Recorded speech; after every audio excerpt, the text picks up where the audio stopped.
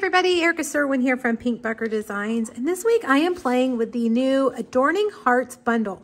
This is a really fun uh, bundle that includes the stamp set, the dies, and the embossing folder.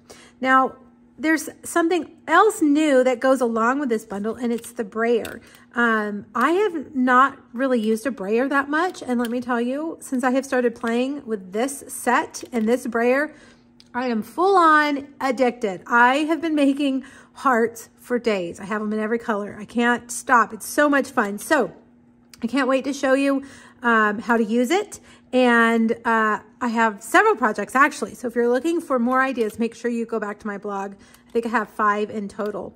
Um, the first thing that I thought of when I was thinking about these hearts was, well, of course, Valentine's Day but a box of chocolates with the chocolates in the shape of a heart. So that's what I came up with.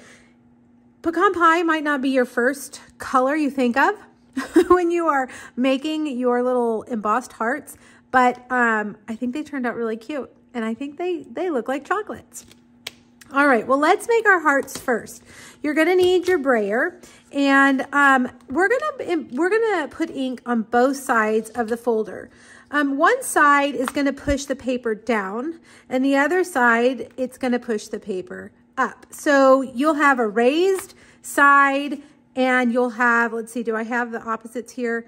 I don't, but you can see when I put ink on one side, it's to put the ink on the part that pushes the paper down. On the other side, it's to put ink on the paper that pushes up. I know that doesn't make sense at all. Once you play with it, you'll get it. Um, I ink both sides. That way I have a choice. Which one do I like? So you'll see that when, when our hearts come out. I think maybe it'll make more sense then. Um, but the really cool thing is that you take this die and you set it in here and then you run it through and not only does it ink and emboss your hearts, but it cuts them all out in one swoop, which is really cool. All right, so your brayer, I want to point this out too, has these little things that poke out on this side, and that's to set your brayer down. It keeps the brayer off the surface of your desk. See, you set it down like that. So it, if it has ink on it, it's not going to get ink on your surface. Um, so when you ink it, you want to turn it that way so that those are poking up. So poking down to set down on your desk, poking up when you ink. All right, well, let's get to it. Enough talking. I've got pecan pie.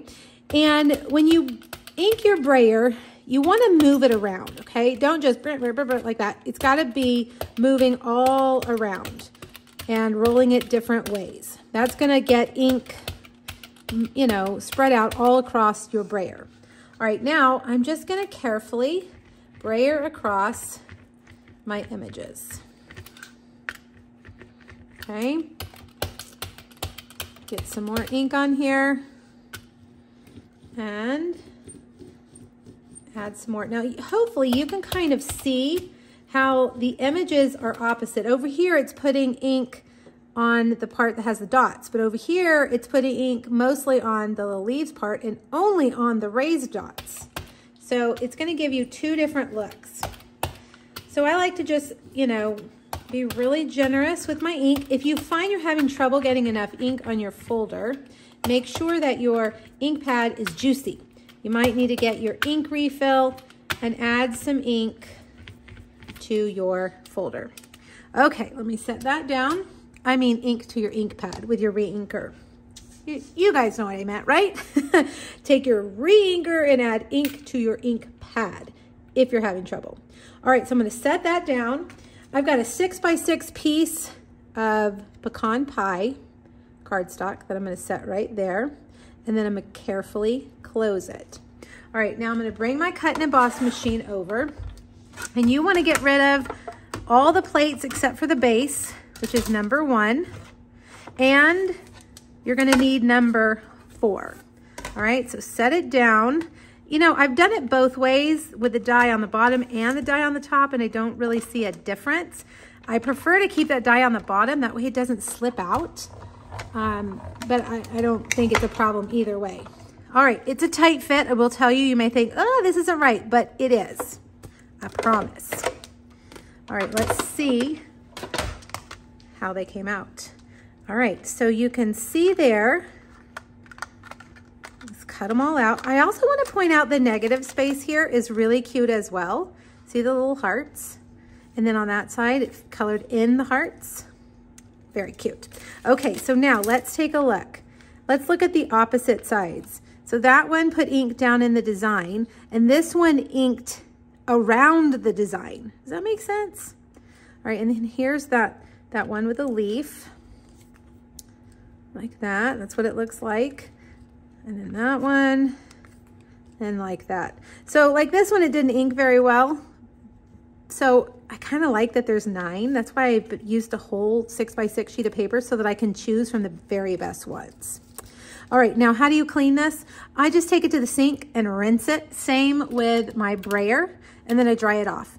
Um, if you have a chamois, you could do that too, but I think it will be a little bit messier because you'll get it on your hands probably. So just take it to your sink, rinse it, dry it, and it'll be just fine. I'm gonna set it over here, out of the way. All right, so now let's put our card together.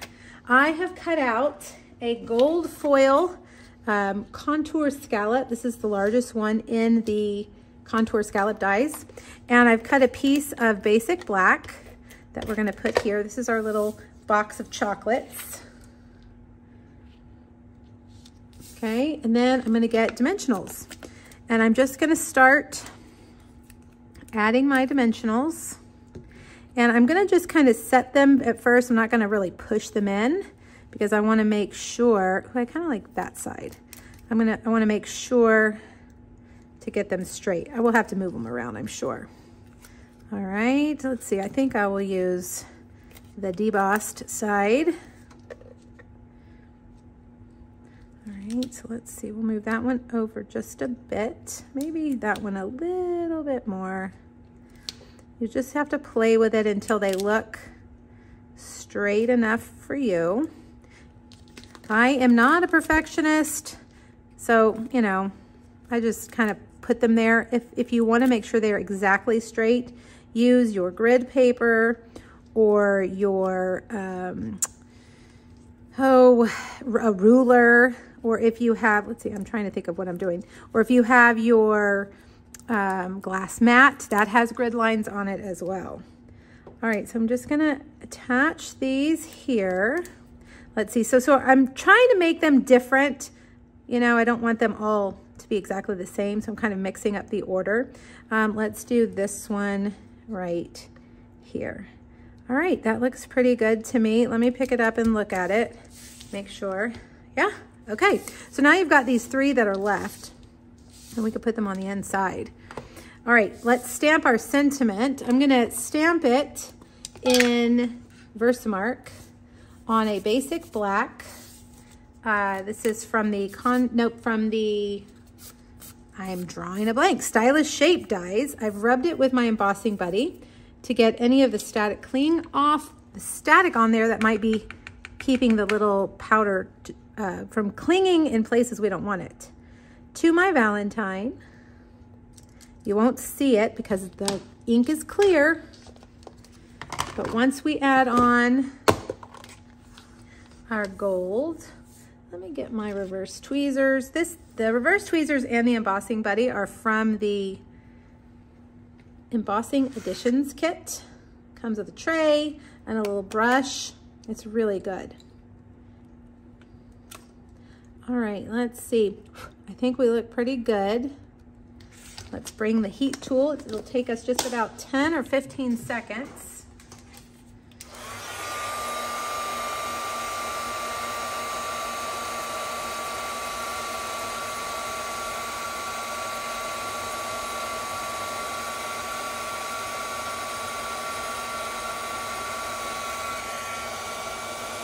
There we go. All right, we need more dimensionals. Put these right here. And we'll put this right over the middle, like that. All right, a real red card base. And you guys know me, I'm gonna add more dimensionals. Layers and layers of dimensionals, of course.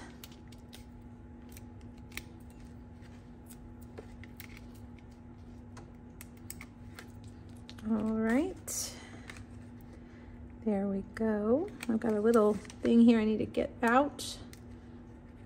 There we go. All right, now for the inside, I've got a piece of basic white. I'm gonna show you what I did um, on my sample and I didn't love it. So I think I'm gonna do something a little bit different this time. I stamped that heart in real red and then put the I adore you, but I don't think the I adore you fits very well.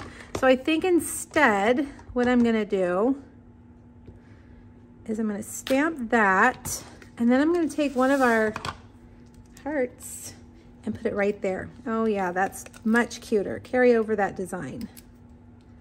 Okay, like that. And there you go. Pretty easy Valentine card. Um, you know, if you aren't going to give this to a Valentine, change change the wording. It could be anything you want, but a fun little fake box of chocolates for Valentine's Day.